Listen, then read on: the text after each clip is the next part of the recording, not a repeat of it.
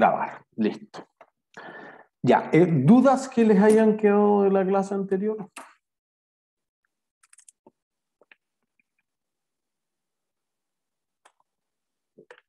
No, perfecto. Entonces, nosotros nos habíamos quedado justamente en la parte de análisis y lo que queremos hacer hoy es, terminar con la idea del análisis y después pasar a hacer un ejercicio cototo más o menos para que ya puedan con eso rendir un súper buen control 3 de ejercicio. Entonces, nosotros lo que planteamos es fundamentalmente que el corazón de la empresa es el flujo de caja que genere en la operación. Con ese flujo de caja de la operación es capaz de pagar dividendos, de salir a, pedir plata prestada o endeudarse y, y, generar las reinversiones que necesite a futuro. Por ende, decíamos que las empresas que tienen un flujo de caja operacional que es insuficiente para la inversión tenían lo que se conoce como un crecimiento inorgánico, perdón, y que en el largo plazo lo único que resistiría es el crecimiento orgánico, que la empresa genere más flujos de caja de operación y que eso pueda subsistir la empresa pagando o, desembolsando las inversiones que debe hacer. Entonces, si genera 100 en operación, pero invierte 300, le faltan. No puede crecer infinitamente así. En algún momento tendrá que generar 300 en la operación y, e invertir 200 y eso le va a dejar algo libre para pagar a los accionistas, para pagar a los bancos, para pagar a las compañías de leasing y para pagar a los bonistas. Esa es la idea esencial. Entonces decíamos que algunas cosas que pueden confundir, por ejemplo, es que dentro del flujo de caja operacional, si partimos del estado de resultados, se tengan partidas que tienen que ver con propiedades planta de equipo, con activo intangible o con propiedades de inversión. También decíamos que hay algunas cosas más complejas, quizás sobre todo en, en las empresas internacionales, cuando se tienen empresas que están endeudadas en otras monedas. Tengo diferencias de cambio. O que están endeudadas en unidades de fomento en el caso de Chile, o en las unidades de valor real en Colombia, por ejemplo, resultado por unidades de reajuste. Y eventualmente justamente queda en este limbo cuando la empresa compra una participación importante, pero no controladora, dentro de otra empresa y se generan utilidades de asociadas. Esas utilidades no iban en la operación, pero eran por una inversión y, no eran flujo de caja, no, no quedaba tan claro. Entonces son cosas que, que podrían ser eh, levemente complejas al momento de meterse en un estado de flujo efectivo. La clasificación del leasing además podría influir significativamente en si se clasificaba en operación o en inversión, pero no en el flujo de caja. Yo pago mil. Lo que pasa es que los mil, una parte de interés, una parte de amortización, todo el gasto, eso cambia el orden de los factores, pero no altera el producto. ¿sí?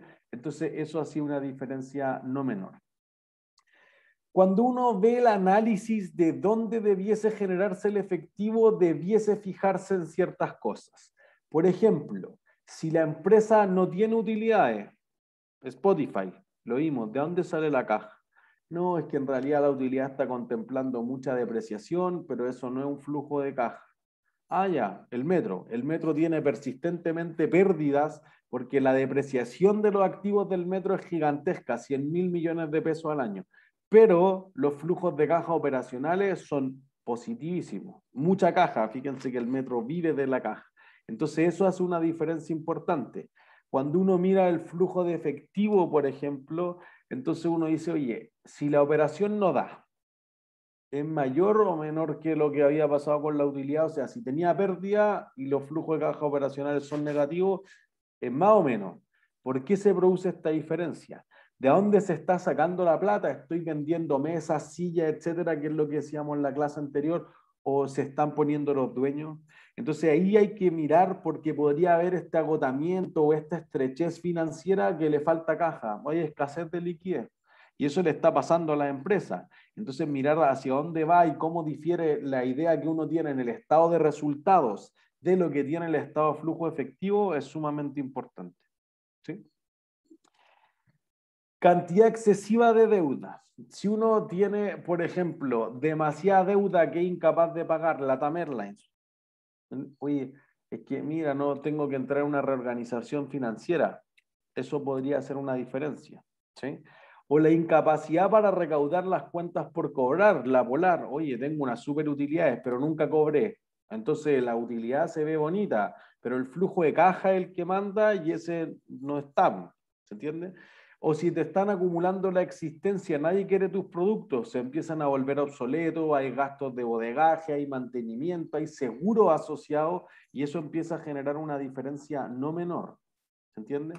Entonces podría tener ese diferencial el, que uno esté observando en la existencia o las cuentas por cobrar o la deuda o todo en conjunto. ¿Sí? No queremos hacer un super análisis financiero, pero queremos entender que podrían haber algunas cosas que, que, que incorporar dentro de eso. ¿sí? Entonces, por ejemplo, el EBITDA es un indicador que se utiliza mucho, mucho, mucho en la industria, lamentablemente. En especial diría que es un indicador antiguo, muy utilizado en los años 80 y los 90, pero que en realidad está desactualizado. El EBITDA significa Earnings Before Interest, Taxes, Depreciation and Amortization, y eso implica que tú estás tratando de medir la utilidad antes de haberle quitado los intereses, los impuestos, la depreciación y la amortización de los intangibles, no la amortización de los pasivos. En ese caso, entonces lo que tú estás considerando es earnings y las utilidades son una opinión. El evita sigue siendo earnings. En cambio, los flujos de caja son un hecho. Por eso que en los negocios hay una regla, catch is king. Las utilidades se ven lindas, pero no pagan las cuentas a fin de mes y te pueden meter en muchos problemas. Por eso que cuando nosotros decíamos la política de dividendos, por ejemplo, la política de dividendos se fija como un porcentaje de las utilidades, pero perfectamente le puede haber salido en la prueba a alguien el comente que si, oye, las empresas que tienen utilidades son capaces de pagar dividendos, no, capaz que no tiene caja, y eso le pasó a la TAM Airlines. La TAM Airlines había tenido unas utilidades decentes. No me atrevería a decir que fue un excelente año porque no había tenido ningún año bueno hace 8 o 9 años.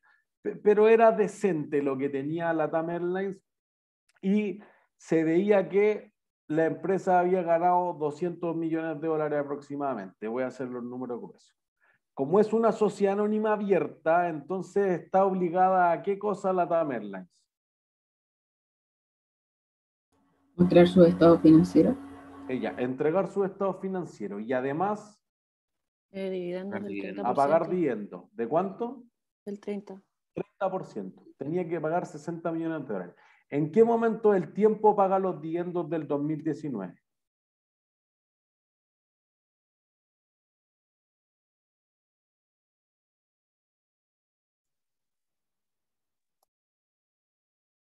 Vamos, alguien le va a chuntar a la.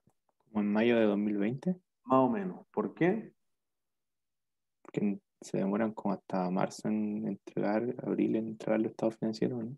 Eso es, y después tienen que votarlo el directorio, la junta accionista y todo lo que conversábamos en patrimonio. Y en mayo de 2020 la TAM se está acogiendo una reestructuración financiera, que es el plazo previo a la quiebra.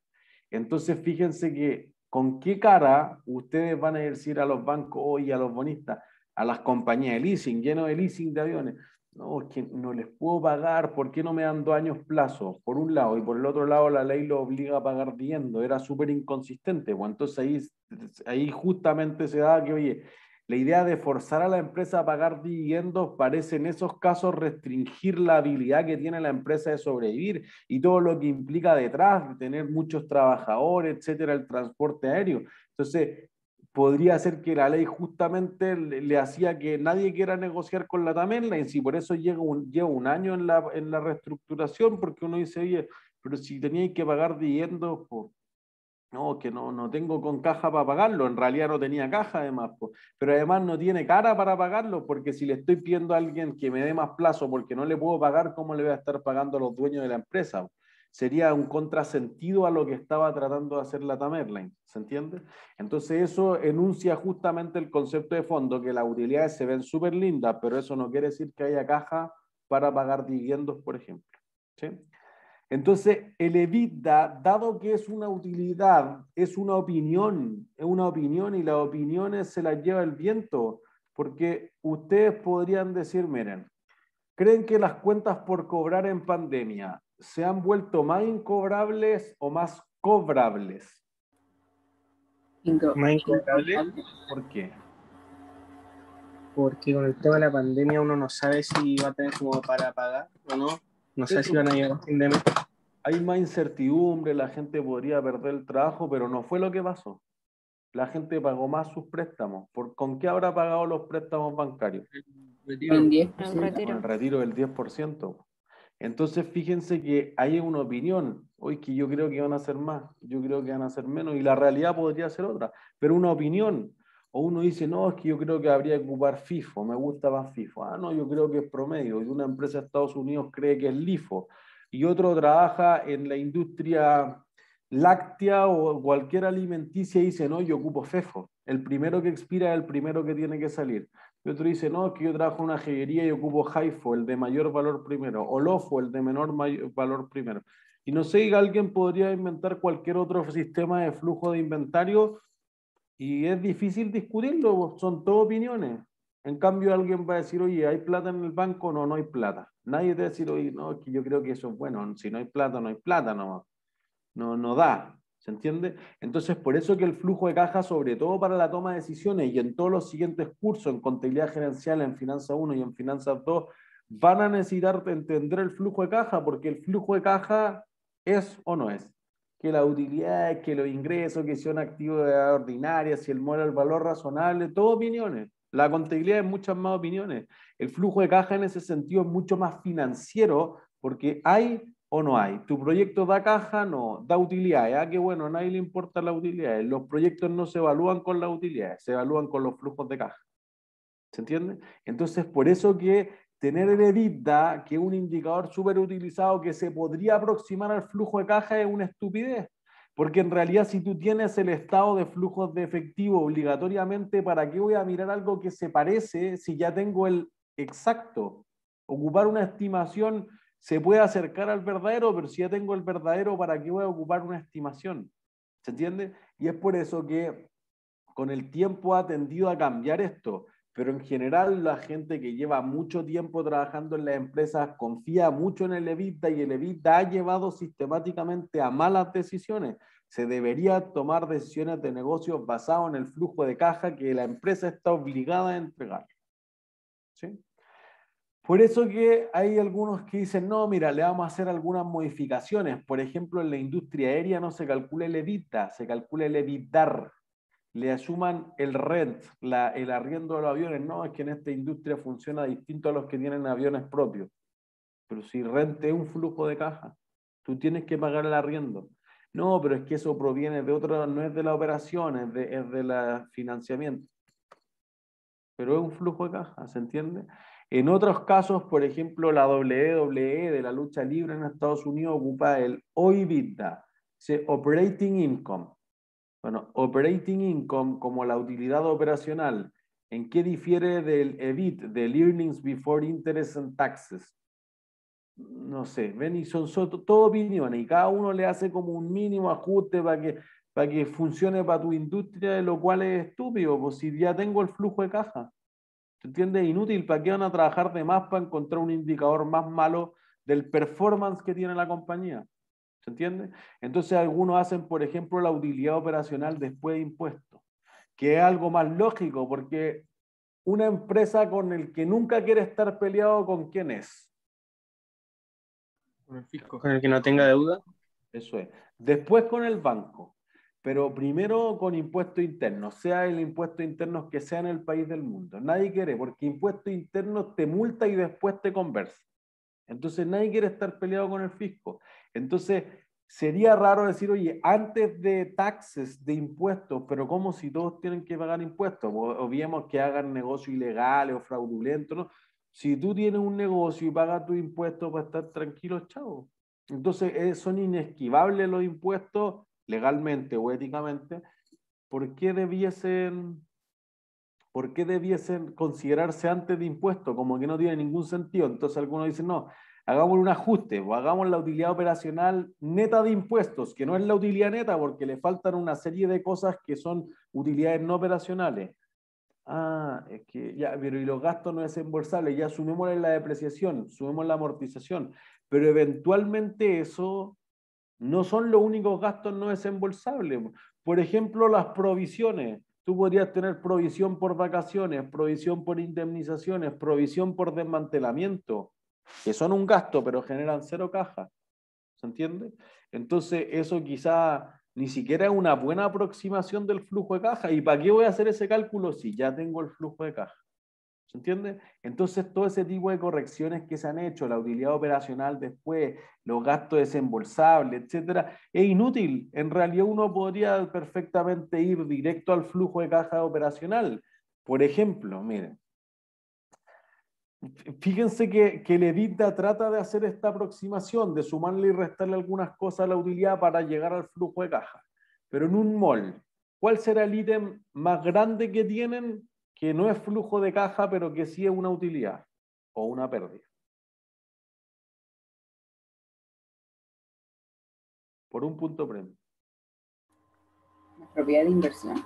No, pero, pero ojo, eh, la propiedad de inversión es, es un activo, pues. estamos pensando en el estado de resultados. Los ingresos por arriendo. No, porque eso los cobro.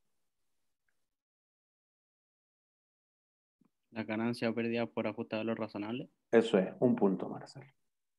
Eso es ganancia contra la propiedad inversión. Por eso que quizás el asiento es algo que nunca van a hacer, pero sirve para establecerse mentalmente. Si a alguien le funcionan los asientos, piensen, oye, ¿toqué el efectivo o no? Nunca lo toqué.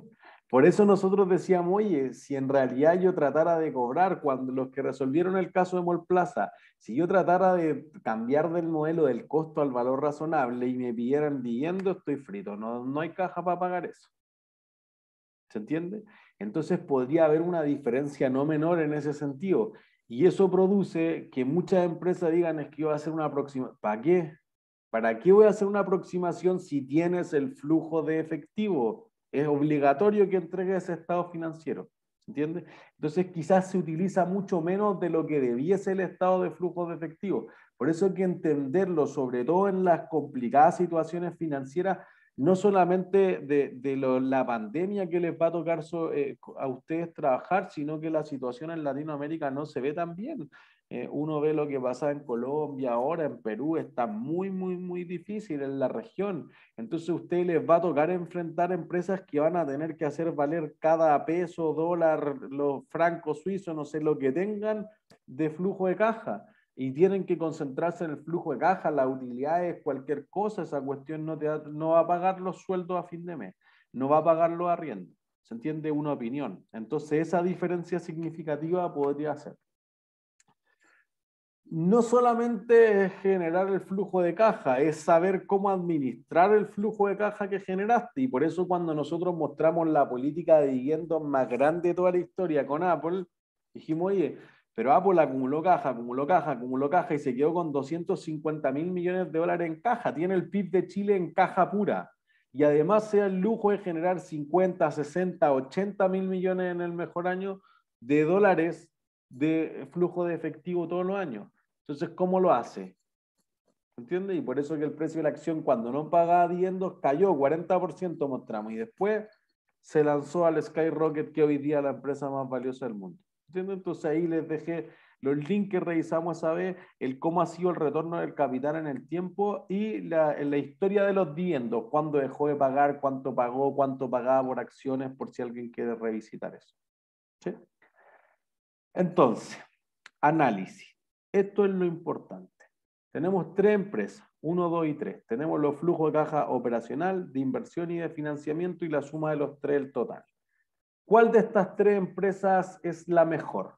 Tómense su tiempo, porque no es simple.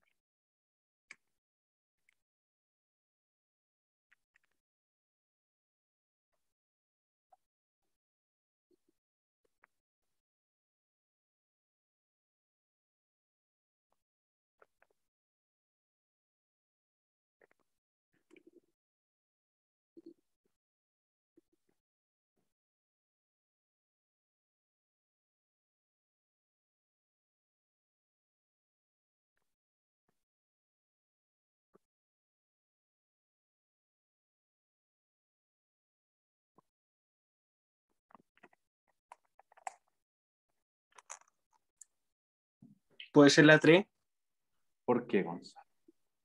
porque la- les dan un financiamiento y no invierten todo y además aún así sacan ganancias de lo que invierten. ¿Sacan ganancias de lo que invierten? O sea, porque tienen una inversión de 200 y hay como flujos de caja de 300. Negativo.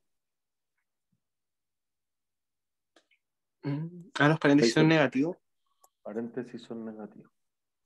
Qué- bueno que después de, de dos cursos re- por fin lo sepan, pero en contabilidad los paréntesis son negativos. Puede ser la 2. La dos, ¿por qué, Fernando? eh, está invirtiendo el financiamiento que consiguió, no- no está, o sea, está recuperando lo que perdió en la operación con el financiamiento y no está invirtiendo más como en la tercera que está como financiando el crecimiento que van a tener con, con como con deuda. ¿Y eso es mejor que la 1, por ejemplo? Es que la uno está invirtiendo lo que no, no está, la- el flujo de caja de inversión no se está sosteniendo en, en el de operación. Pero ninguno se está sosteniendo en el de operación. Pero es que, es que te está perdiendo como que Profe, Pero me, me gusta hacia dónde va, Antonia. que yo creo que igual el hecho de que tenga un financiamiento de 300 dice que em, como que en el fondo se le tiene fe como a la empresa, como que si le están dando el financiamiento es por algo. Ah, ven, eso es algo súper importante. Algo te dice. Obviamente aquí tenemos una cosa súper reducida, necesitáramos otros estados financieros, no queremos hacer un súper análisis, para eso está Finanza 1 y van a estar muchas clases ahí en análisis financiero. Lo que nosotros queremos decir es que el flujo de caja te puede señalizar algo. Hay algo ahí. Cuando la empresa vendía acciones, cuando la empresa vendía bonos, cuando la empresa tomaba un leasing, te dice algo. Ustedes no van a ser preparadores de estados financieros o van a ser quizás más bien usuarios de estados financieros. Esa es la lógica y por eso hemos construido mucho de en menos asientos, más revisión de estados financieros. Cuando ustedes ven que el flujo de caja te está señalizando algo, es justamente lo que te dice la Antonia. Refleja un sentimiento que tienen los inversionistas en ese sentido. Klaus. Ya, sí, es que yo estaba pensando más en la 1 porque en la 2, claramente, ya sí, por parte, como que inyectan plata los, los- las personas, pero eso como que al final, lo único que quiere decir es que le tienen fe, no, no que como que al final el panorama se ve mejor. Según yo en la 1, yo estaba pensando ¿Pero que al por final... qué le tendrán fe? po?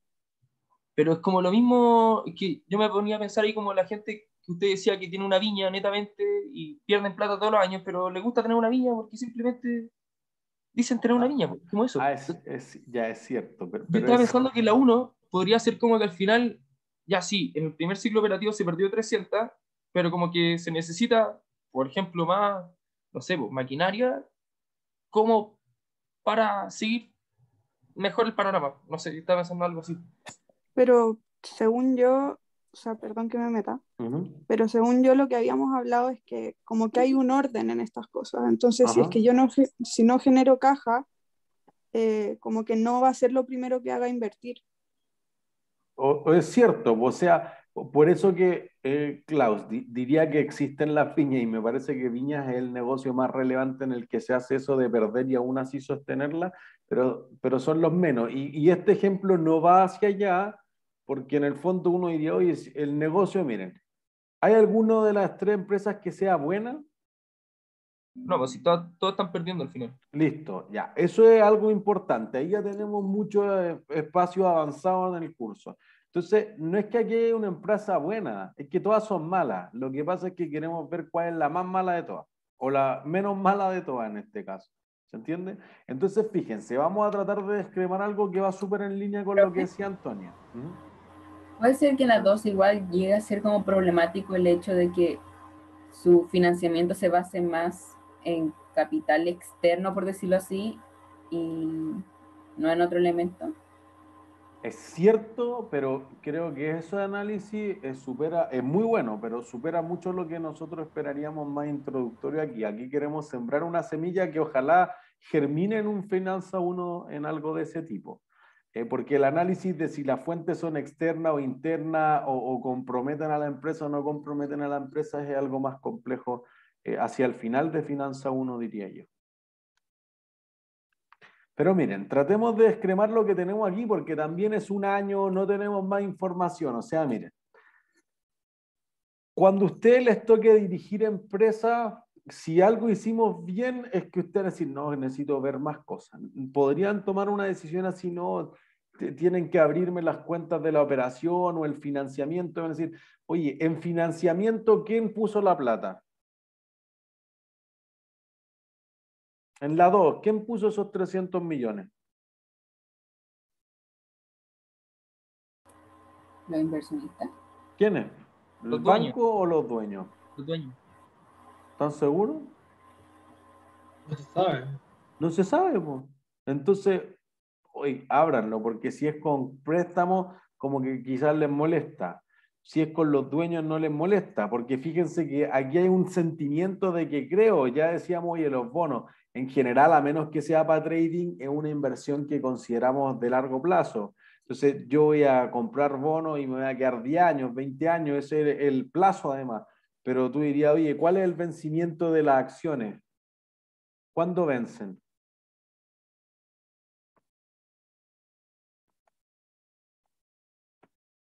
¿Cuánto prometí pagarle todo lo que prestaron los accionistas? Nunca. Nunca. po. Listo. Entonces no hay nada que tenga expectativas más de un horizonte infinitamente largo que las acciones. De hecho, una de las características en uno de los comentarios de la prueba era justamente que dijeran eso. Oye, unas tienen vencimiento y las otras no tienen vencimiento. O una tienen una cosa conocida y las otras tienen una cosa esperada. Algo así. Alguien le puede haber salido ese comentario, ¿se entiende? Entonces, si uno empieza a como a hilar fino, dice, mira, operación ¿Te permite discriminar?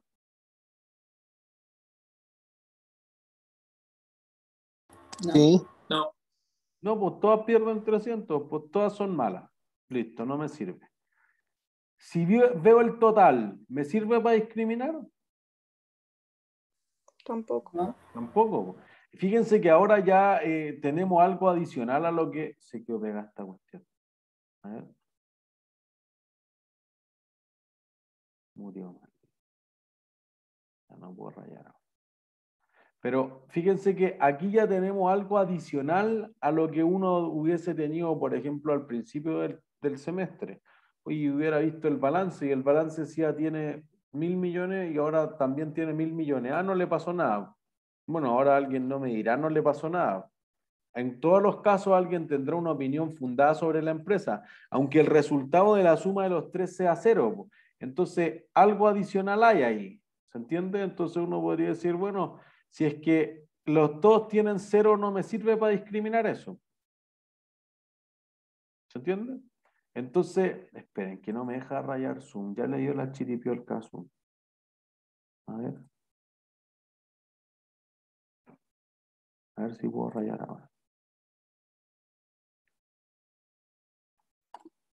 Maldito Zoom. A ver. ¿Puedo rayar acá? Curioso. Pero bueno, veamos los números. Entonces, no me permite para discriminar operación ni el total. Entonces me quedan solamente inversión y financiamiento. Vayamos una por una. ¿Qué está haciendo el 1 con el flujo de caja de inversión positivo? Está vendiendo propiedades equipo. Eso, está vendiendo. Entonces, fíjense la confesión que hace el gerente. Si yo vendo las máquinas, haberlas comprado, ¿cómo fue como proyecto? Pésimo. Pésimo. Listo. Eso te envía una señal. Nadie te va a decir, no, estoy vendiendo mis mejores activos. Eso no tiene ningún sentido económico. Sería más idiota todavía, ¿se entiende? O es que, mira, empezamos a construir un edificio justamente en la pandemia, no cachamos que nadie va a querer arrendar ahora, que las oficinas ya quedaron en el pasado, etc. Pero puede pasar si la empresa no, no ve en el futuro tampoco, ¿se entiende? Cambio, tú dices, oye, la 2 no hace nada en inversión. Ah, ya. La 3, ¿qué está haciendo? Invirtiendo. invirtiendo.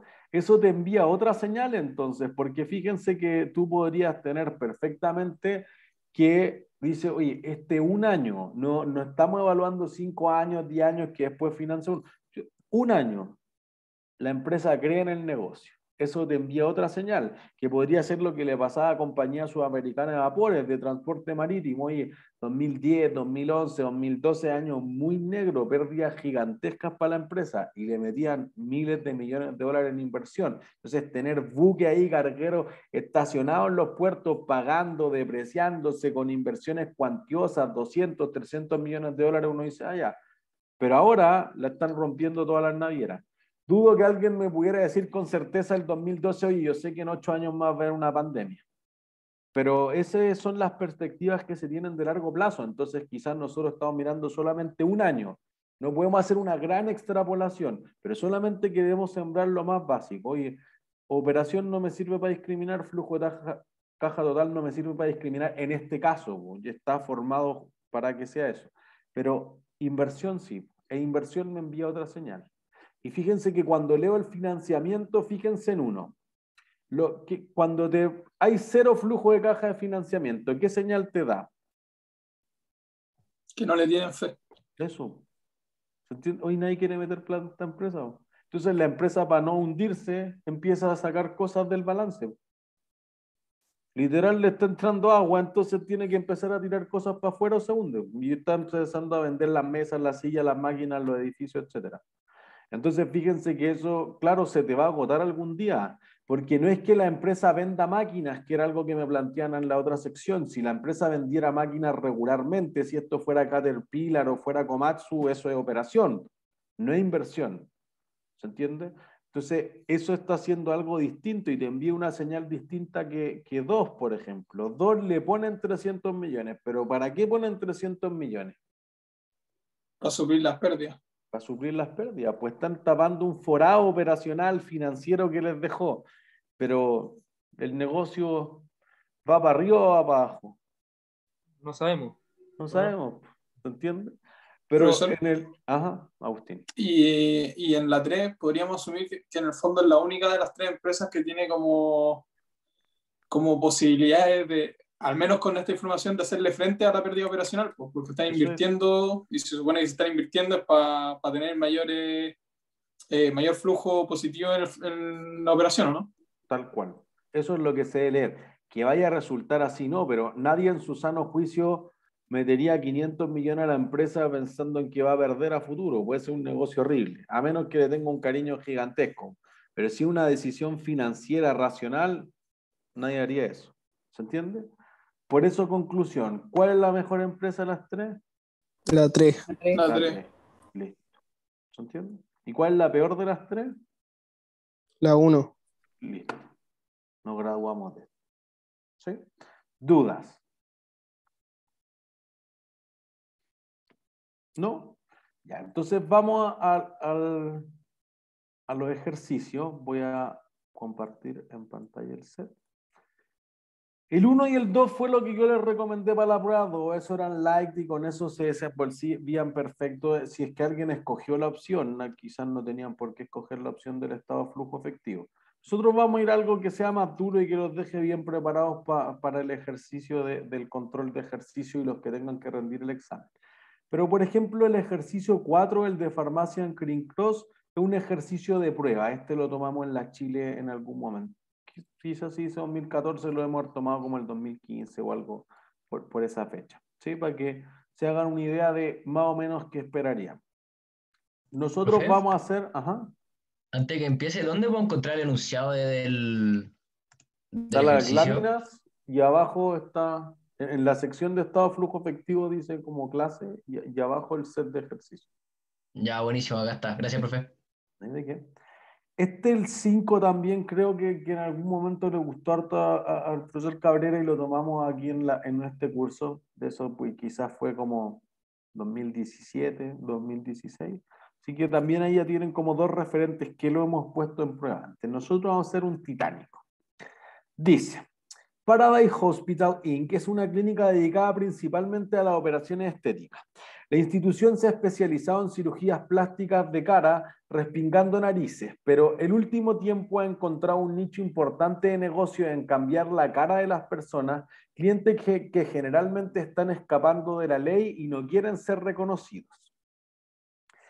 Dado que se detectó esta práctica, las autoridades le exigieron a la compañía revelar sus estados financieros bajo las normas internacionales de información financiera y FRS.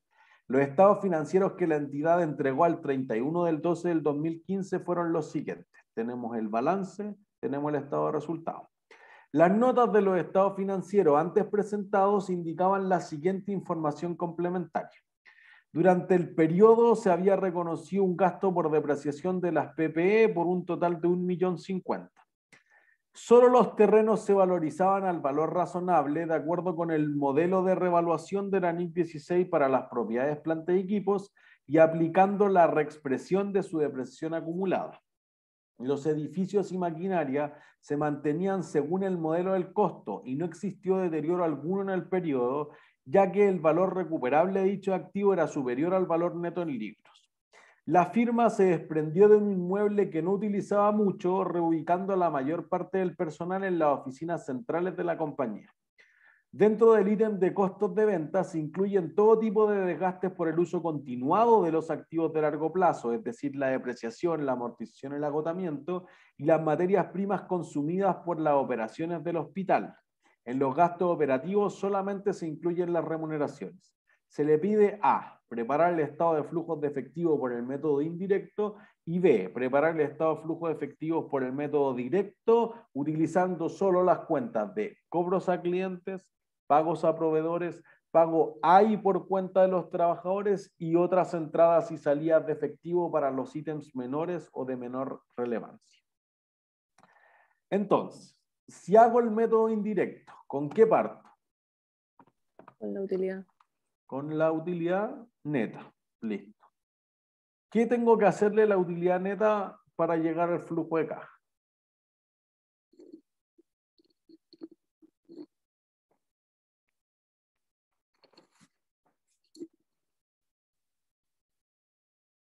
¿Qué tengo que hacerle a la utilidad neta para llegar al flujo de caja?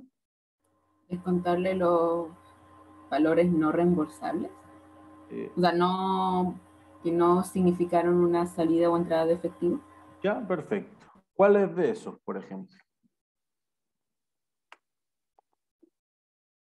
Los gastos por depreciación. Listo, la depreciación. Y ese te lo daban, ya tenemos un millón cincuenta.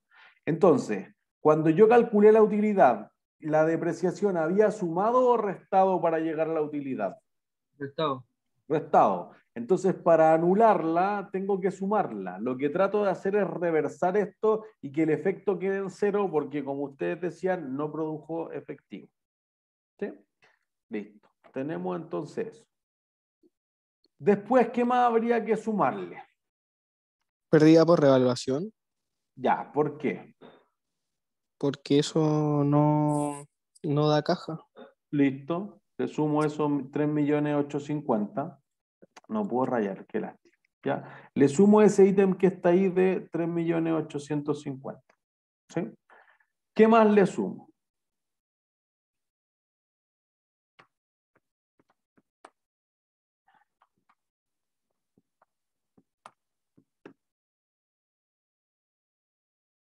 Las cuentas por cobrar. Ya, pero primero solamente pensemos en ingresos y gastos que no hayan sido salida de caja. Las amortizaciones. Ya, ¿cómo calculo las amortizaciones?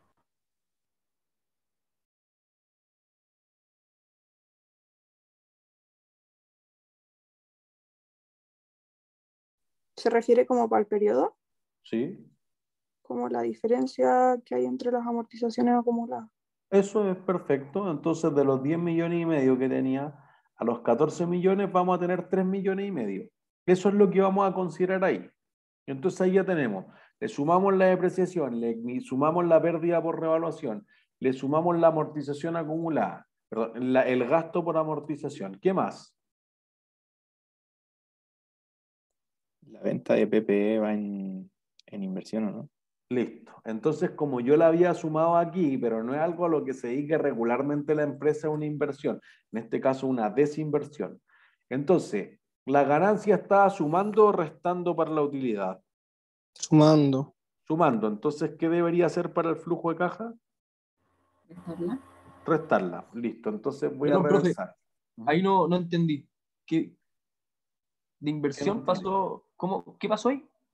Como yo estoy partiendo de la utilidad neta, para calcular la parte operacional del flujo de efectivo, debería quitar lo que haya ganado o perdido por la venta de PPE o de activo intangible o de propiedades de inversión porque no representan una actividad de Sí, operación. perfecto. No quiere decir Eso- que no sean flujos de caja, solamente que la vamos a colocar en una sección aparte. Sería flujo de inversión, ¿cierto? Sí. Ya, perfecto, sí. Gracias.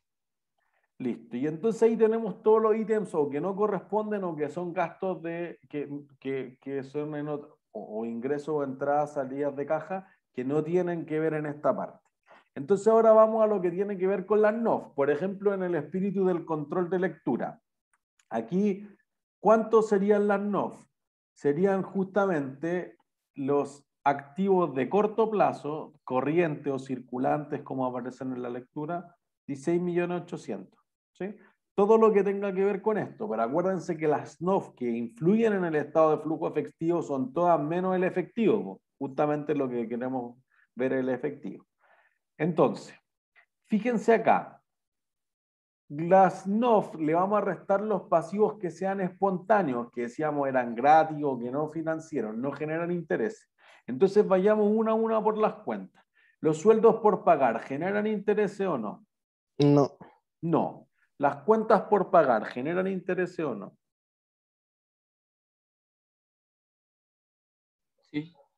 ¿Sí? ¿Por qué? Como un préstamo para el banco, ¿o ¿no? Eh, pero de los proveedores. Depende, depende en realidad, ¿no? Depende de qué. O sea, es que si es con los proveedores y tenéis como un pago fijo que no te cobran intereses, no. No. Eso es, pues, o sea, si yo le digo ya te voy a pagar en dos semanas, ya, listo. Se cobra exactamente lo mismo, es espontáneo. Por eso nosotros decíamos, oye, los supermercados estiraron el chicle a 180 días, pues entonces se fueron al chancho, la ley lo tuvo que limitar a 90 días. ¿Se entiende? Entonces eso, eso no genera intereses. ¿Los ingresos recibidos por anticipado generan intereses o no? No. No. ¿Los impuestos por pagar generan intereses o? No.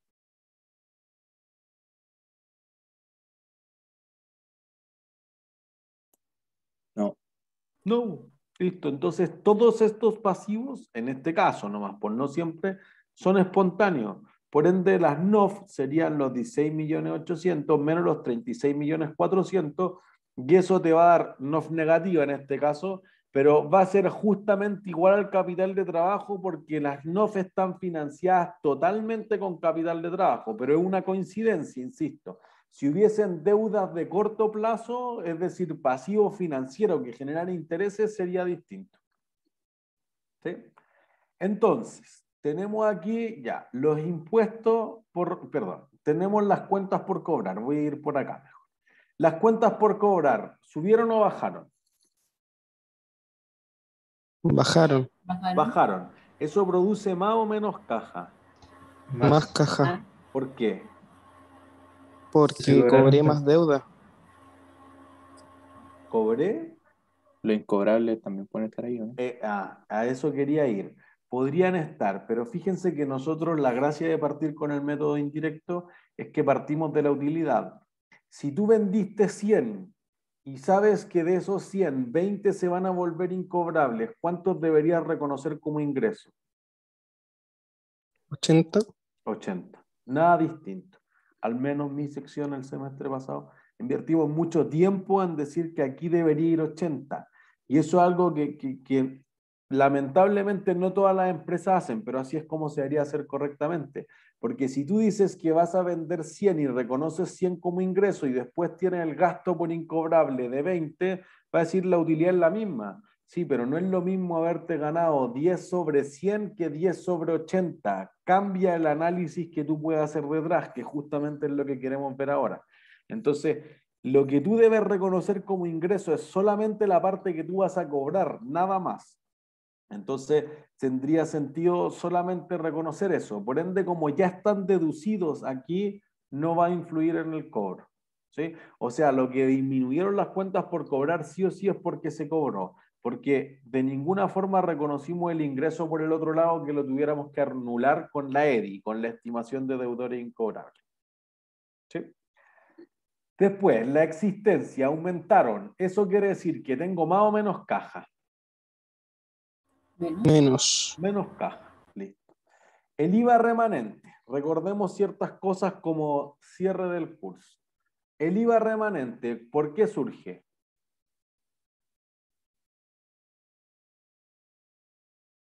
Cuando tu de crédito es más grande que el IVA de... Tal cual.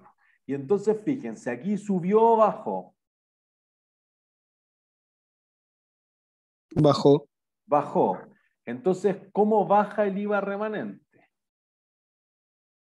Se disminuye tu deuda por como impuesto que uno tiene que pagar, ¿o ¿no? Es cierto, le debo, no sé si es una Se hace el neteo, ¿no? El fisco me debe menos a mí, ya. ¿Contra qué lo neteé?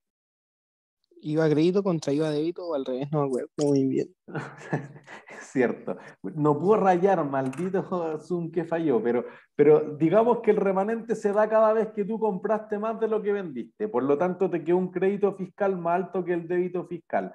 O, o el IVA soportado fue más alto que el IVA repercutido si alguien ocupó otro concepto y entonces te va a dar la diferencia. ¿sí? Entonces tú vas a decir, mira, yo tenía 2 millones 100 pero el siguiente año ya no tengo 2 millones 100, el fisco no me debe a mí 2 millones 100. Es como una cuenta por cobrar si lo quieren ver así. Me debe solo 1 millón 400 ya. ¿Por qué me debe menos el fisco? Vendiste más de lo que compraste. Ya. Entonces ahora yo le debía al fisco y ¿con qué le pagué? Con ese remanente. Eso es. Entonces fíjense que yo fui y le cobré a los clientes 10 Fui y le pagué a los proveedores 9,3. Dije, ah, ya, le debo al fisco, 10, le debo los 700 de vuelta, el 0,7. Y como el fisco me debía a mí, le dije, ya, pues saldemos contra el IVA remanente. Entonces tú tienes más o menos caja. Más caja. Más caja. ¿Se entiende? Entonces fíjense que ahí ustedes ya pueden producir un análisis más importante detrás de los impuestos que para las empresas son cruciales. Vayamos al otro lado. Sueldos por pagar. Los sueldos por pagar aumentaron. Entonces la empresa tiene más o menos caja. Menos. ¿Menos por qué?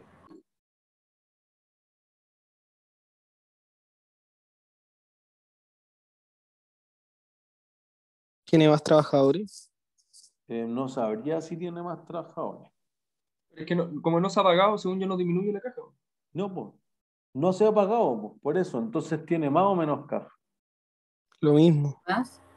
Más, pues.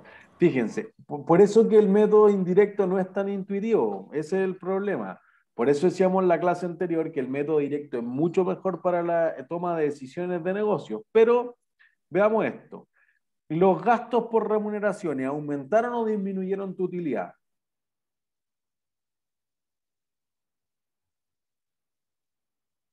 La disminuyen. La disminuyen, listo. Miren, de hecho, fíjense, voy a ocupar al tiro la nota. Te decía, en los gastos operativos solamente se incluyen las remuneraciones. Entonces, ¿cuánto fue el gasto por sueldos de ese año?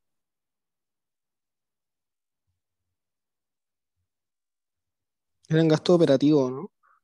Tal 4 cual. millones 900. Ahí está. 4 millones 900, listo. ¿Cuánto de esos 4 millones 900 realmente le pagué a los trabajadores por un punto premio? 4,2 millones. No, 700.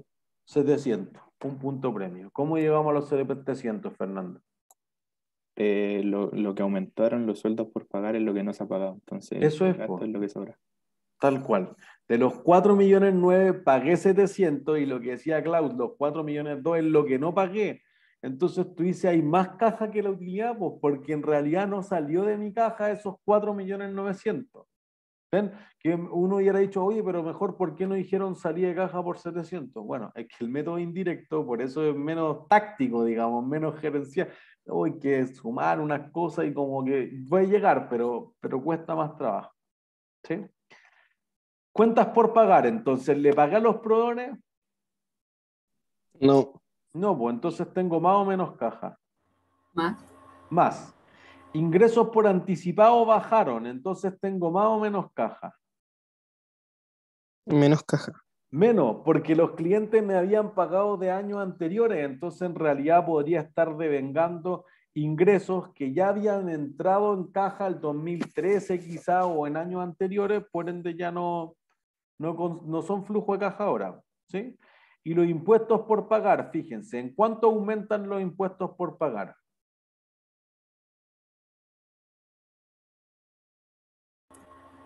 875. 875. Entonces, fíjense en esto.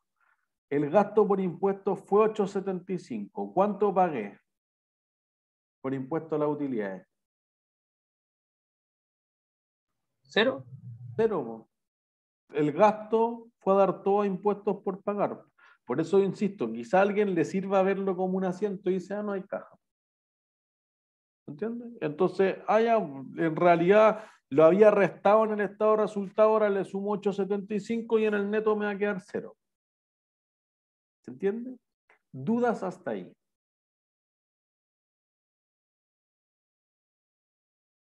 ¿No? Quizá alguien se quedó en algo mucho más atrás y este es el momento, no hay más días de semestre para, para recapitular. O sea, profe, al final en este método como que se compensa como el estado de situación y el de resultado como lo, lo que falta.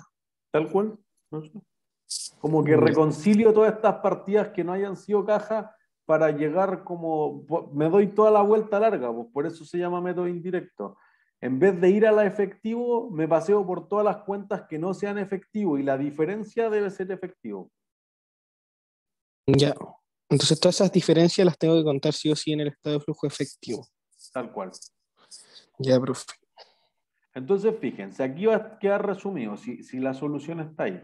Entonces, aquí tenemos, partíamos de los 4.375.000, sumamos la depreciación, la amortización y la revaluación, que decíamos los 3.850.000. Después quitamos la ganancia porque la vamos a incluir en la inversión o en lo que hayan pagado por la inversión. Y después sumamos las cuentas por cobrar que ustedes decían, quitamos la, la variación en la existencia, el IVA remanente, los sueldos por pagar, cuentas, los ingresos recibidos por anticipado y los impuestos. Y eso te da el flujo de caja operacional.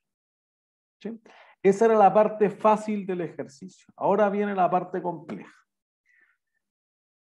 Inversión. Entonces, fíjense, si me parece que algo que pueda ayudarle harto a resolver un ejercicio es que vayan tachando los datos que ya utilizaron. Tachamos eso. Y no ocupamos nada más. Después te dice, los terrenos se valorizan de acuerdo con el valor razonable. ¿Sí?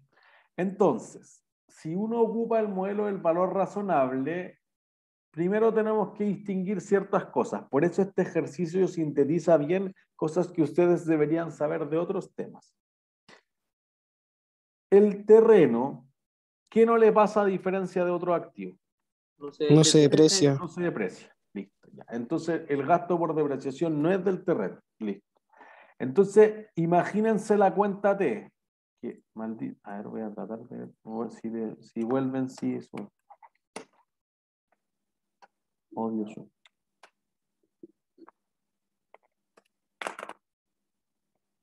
No hay problema eso. Eh, vuelvo acá. Imagínense la cuenta T. Ustedes tenían los terrenos, partieron con ese saldo deudor.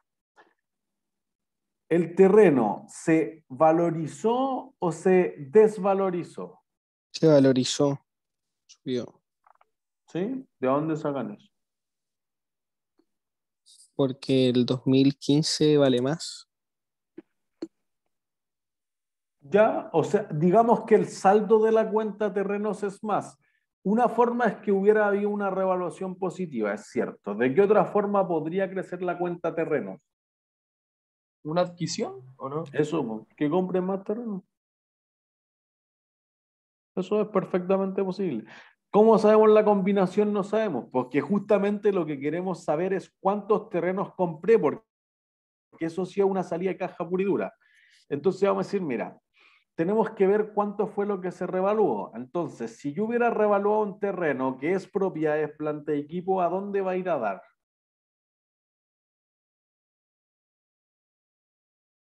El patrimonio. Resultado, Ori. Ya, al patrimonio, ORI, aquí está, reserva. ¿Se entiende? Pero fíjense que tú tenías una reserva, o sea, históricamente la habías revaluado positivamente y ahora se comió toda la reserva. ¿Se entiende? Entonces subió o bajó de valor. Bajó. Bajó. po. Y puede haber bajado más que esto. Y si bajó más que esto, ¿dónde fue a dar la diferencia? Saldo deudor. A pérdida por No puede quedar con saldo deudor, por eso que Resultado. cero. Klaus, ¿dónde? A Resultado. por resultado. Acá, pues. ahí O está. sea, eso. Entonces, ¿en cuánto bajó el terreno? En esos 700. 700, No, ¿cómo? Wait. No, no, los 700 son otra cosa, es un edificio. Primero el ¿Siete terreno. millones? 7 7 millones. millones. Los 3 millones 150 de acá que dice la Bárbara y los 3 millones 850 de acá. Entonces, fíjense, vayamos lento, es que no puedo rayar, me, me, me corta la ala, no puedo rayar encima. Los 8 millones 750 se desvalorizó en 7. ¿En cuánto te hubiera quedado si no compro nada? Un millón. un millón. 1 millón 750, listo. Dado que yo tengo 10 millones y medio, lo que compré es la diferencia. 10 millones y medio menos el millón 750. Entonces la adquisición de terrenos fue 8 millones 750. Este de acá. Chuta. No, no, este de aquí. ¿Sí? Eso fue lo que compré en terreno. Ahí noten que esa es la parte más compleja del ejercicio. Ahora viene otra parte. Ocupamos el punto de acá, listo. Lo tachan de la información. Ahora dice, los edificios y la maquinaria se mantenían al costo, no existió deterioro alguno, ya que el valor recuperable, listo. La firma se desprendió de un inmueble que no utilizaba mucho. Listo. Entonces aquí tenemos la ganancia de 700. Entonces lo que tenemos que saber es cuánto vale eso. ¿Se entiende? Entonces tú dices, oye, ya, es un inmueble. Está acá. En edificio. ¿Sí? Entonces fíjense. El valor como está ahí es bruto o neto.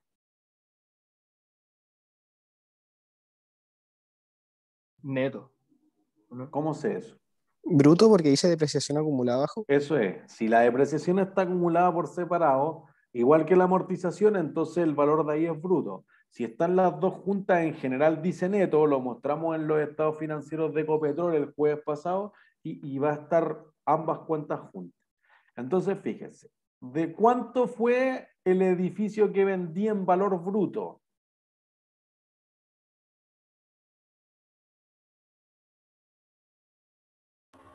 Dos millones cuatrocientos cincuenta. 2 millones 450, la diferencia, listo. Yo voy anotando acá en la calculadora.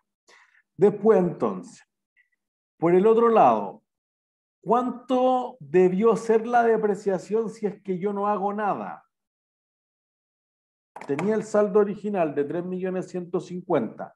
La depreciación del periodo te la daban de 1 millón 50. ¿Sí? Entonces, tú hubieras quedado con un saldo de depreciación acumulada de 4 millones 200. ¿sí? Los 3 millones 150 originales más el millón 50 del periodo. Si alguien se pierde, me detiene. Entonces, como no llegué a 4 millones 200, sino que tengo menos depreciación, esa diferencia de depreciación, ¿a qué le correspondía? Al edificio, ¿no? Al edificio. Listo. Entonces, los 4 millones 200. nos falta Ahí está, un cero. Y comparado con los 2 millones 625, me va a dar una depreciación de 1 millón 575. Entonces, fíjense. Valor bruto del edificio, 2 millones 450. Depreciación acumulada, 1 millón 575. 25, perdón. Y eso te va a dar o sea, 8 millones, perdón, 875 mil. Listo. Eso es lo que valía neto en libro, 875. ¿Tú lo vendiste por encima de eso o por debajo de eso? Y profe, la amortización no se hace nada. Ah, no, pero es que, güey, la amortización tiene que ver con la licencia. Y no, no Ah, te ya, dice que haya ya. vendido la licencia, pero como no cambia eso, ya no, no hay que tocarlo. Tú lo vendiste por encima o por debajo de 875. Bajo. ¿Bajo? Por encima si hay ganancia. Eso. Ojo, pero, pero, pero puedo entender el detalle con la Antonia porque en el fondo tú dices, oye, si valía 875, pero lo que registro aquí no es el precio, es lo que gané por encima. Entonces, si tú ya sabes cuánto costaba 875 y sé cuánto gané, puedo reconstruir en el cuánto lo vendí. ¿Entiende? Que justamente eso es lo que queremos poner en el estado de flujos de efectivo. Entonces, 875 valía, me gané 700, entonces lo vendí por 1.575. Y eso es el ítem que colocamos acá. ¿Sí? Me parece que esto era lo más complejo de calcular en todo el ejercicio. Quizá eso le subía el nivel harto. ¿Es claro hasta ahí o alguien se perdió? Una pregunta. La, lo que hicimos con la depreciación del edificio, al final se la sumamos o se la restamos. Al, No, se la Al- restamos. ¿y, por, y por qué se la restamos? No Porque tú decías que vale 2.450.000 bruto. Valía un, tenía 1.575.000 de depreciación. Entonces, eso te queda en 800, o 1.500.000, sí, 75 y te queda en 875. Eso valía tu edificio en la contabilidad, entre las dos cuentas. ¿sí? Y tú lo vendiste 700 lucas más caro y justamente te va a dar el 1.575.000. Ah, ya. Perfecto. Entonces ahí tenemos la inversión. Entonces, fíjense. Truco. Truco de consejo para el control de ejercicio. ¿A qué número deberían llegar después de hacer todo el estado flujo efectivo? Un millón y medio. 3 millones y medio, porque ustedes ya conocen el saldo inicial.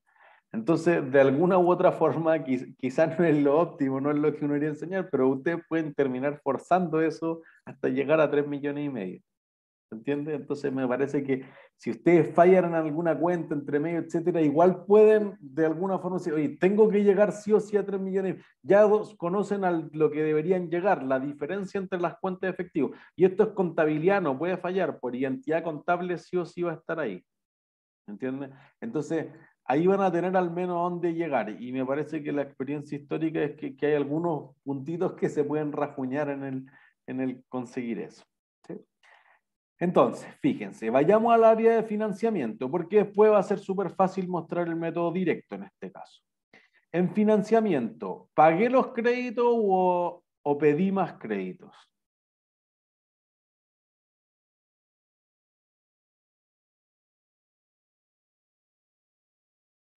Pedí más. Pedí más Pedí crédito. más, po, porque aumentó el pasivo, listo. Entra un millón siete cincuenta. ¿Vendí mis propias acciones o compré mis propias acciones? Las compré porque subió mi capital. Em, si compro, debería tener más o menos capital. Ah, no, pues menos, menos. Menos. A- aparte, si la hubiera comprado, acuérdense que la cuenta que aparecería es acciones propias en tesorería o algo de ese orden. Entonces, vendí acciones. Vendí 5.250.000 en acciones. Entonces, ahí ya tenemos dos entradas. Reserva por revaluación, ¿cuánta caja te generó? Nada. Nada, listo, entonces ni siquiera la vamos a considerar. Y aquí quizás es la más compleja y de nuevo aquí yo creo que hacerse la cuenta T de las utilidades retenidas puede ser bueno, porque pueden decir, mira, yo partí con 2.905.000. ¿Qué cosas hacen que suban las utilidades retenidas?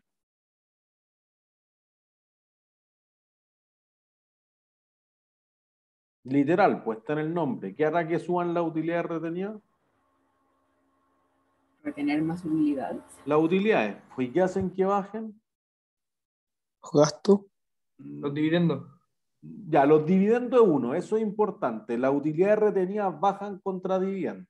¿Y ahí qué otra cosa haría bajar? Lo contrario de las utilidades. Pérdida. Las pérdidas, pues listo. Que justamente es el caso. La empresa sí pierde 4.375.000. Entonces uno diría, mira, tenía 2.905.000. Lo voy a ir haciendo acá. Perdí 4.375.000. Entonces, si no hubiese hecho nada, hubiera quedado con 1.470.000 en contra, saldo deudor, por eso aparece el paréntesis. Y entonces, como tengo menos todavía, tengo 2.470.000, entonces la diferencia ¿qué es? Un millón en dividendo. Eso es, perfecto. Y entonces, si vamos acá al flujo de financiamiento, tenemos el millón cincuenta de los préstamos, los 5 millones cincuenta del capital y el millón que sale para pagar bien. Y ahí tienen 6. Entonces 6 más 4, 675 menos 675 te da el 3 millones y medio. ahí están listos. ¿Entiendes? Método directo, y con eso cerramos un par de minutos. El método directo te dice, miren, ocupen cuatro cuentas, cobro a cliente, solo haga la operación además, cobro a cliente, pago a proveedores, pago y por cuenta de trabajadores y otra entrada y salida. Entonces, los cobros a cliente estarán relacionados a qué cuenta? Cuentas por cobrar. Ya, cuentas por cobrar. ¿Qué más?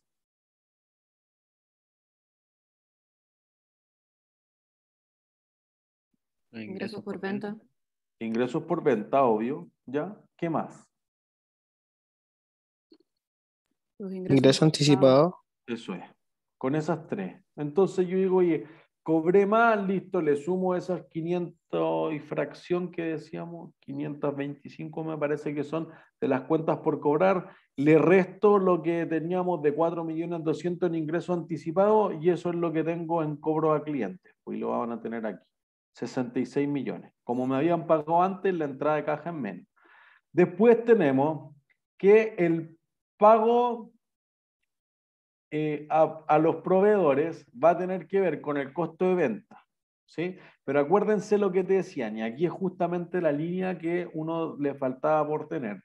Dentro del ítem del costo de venta se incluye la depreciación, la amortización y el agotamiento. En este caso no hay agotamiento, pero uno dice, oye, de esos 63 hay un millón cincuenta que es depreciación, hay 3 millones y medio que son amortización. Entonces, de los 63 millones menos 1050 menos 3500, 58 millones 450 mil están relacionados a lo que te dice aquí las materias primas.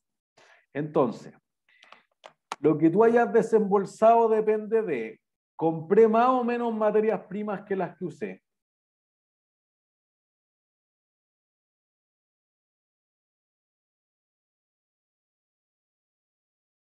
¿Compré más o menos materias primas que las que usé?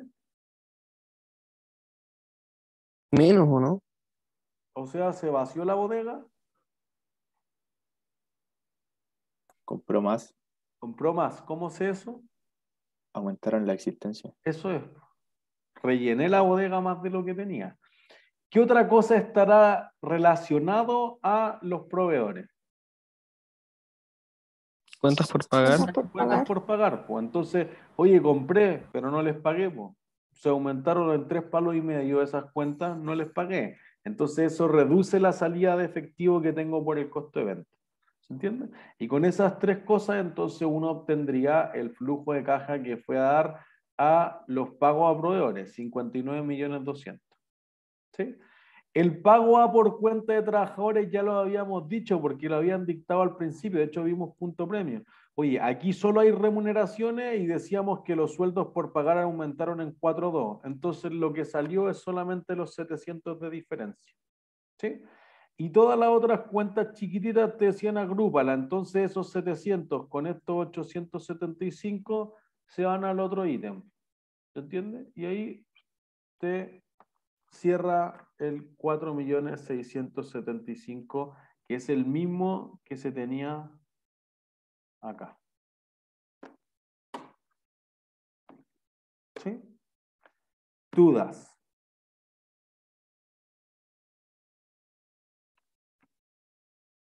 Yo tengo una pregunta, pero no del ejercicio. Quería saber si en su canal habían como más videos de como de este tipo de ejercicios porque tuvimos como una ayudantía de, de solamente de flujo efectivo.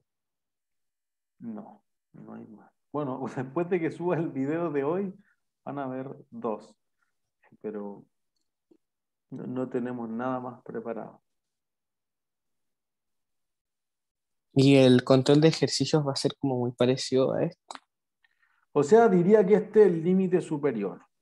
Era titánico. Entonces me parece que eso es lo, lo más complejo, por- porque me parecía que era un ejercicio de cierre. Como les dije, tocaba tangencialmente muchos de los temas que debíamos ver en este curso y lo que debieron ver en el curso anterior. Entonces, me parece que está en el nivel alto. Si alguien comprendió mayoritariamente eso, no debería tener problema en desempeñarse en el control. Profe, una pregunta. Patrick.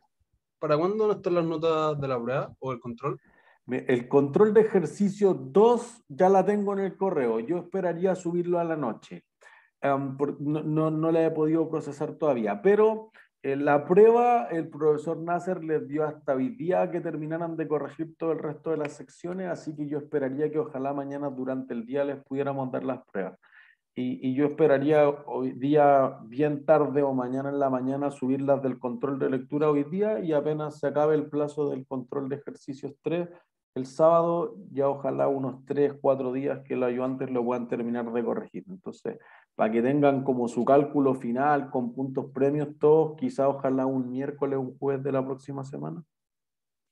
Em, profe, otra pregunta. ¿Cuánto tiempo hay para el control 3 de ejercicio? No, lo igual siempre, yo 60 siento que por lo menos en esto, en esto es como que uno se demora más que nada pasando datos que... Sí, puede ser, por, por eso que ahora es solo un ejercicio además. O sea,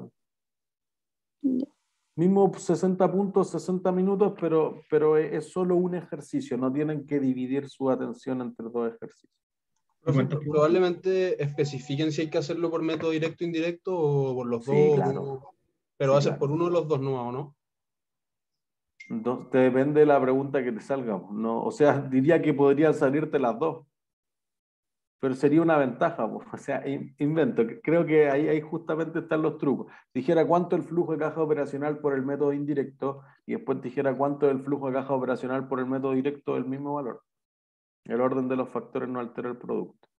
Entonces, pero si por ejemplo te dijeran, oye, ¿cuántos fueron los cobros a los clientes? ¿O cuántos fueron los gastos que no, o, e ingresos que no son salidas o entradas de caja? Eh, quizás sí tendrían que aplicar los dos. Mi, mi percepción es que mejor estén preparados para los dos, por si acaso. Ah, en la prueba ya entonces- vieron que ustedes cogían, pues acá quizás que no del Entonces es como tipo de alternativas, o sea, nos van, nos van a dar los datos y tenemos que ir calculando Sí. según lo que nos pida alternativa. Sí, claro, es de alternativa. Ah, ya. Pensé que nos iban a pedir hacerlo como completo.